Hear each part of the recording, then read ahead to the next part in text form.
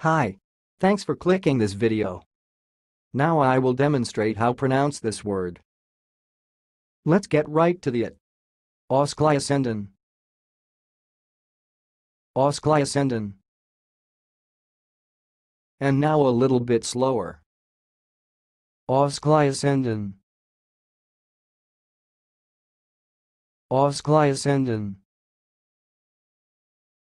That's all, thanks for watching. If you liked this video, please subscribe to my channel. If you want to share your opinion, please leave comment for this video. Thanks and goodbye.